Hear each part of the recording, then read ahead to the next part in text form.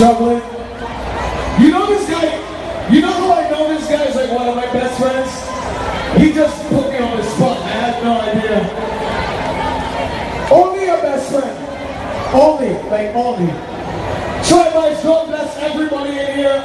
To everybody that watched Rumble Bull Freestyle, the finals, and shooting, I love you guys. Thank you guys so much. It was a pleasure. And I did it for not only, not only Barbados, not only Trinidad, not only St. Vincent, not only St. Lucia.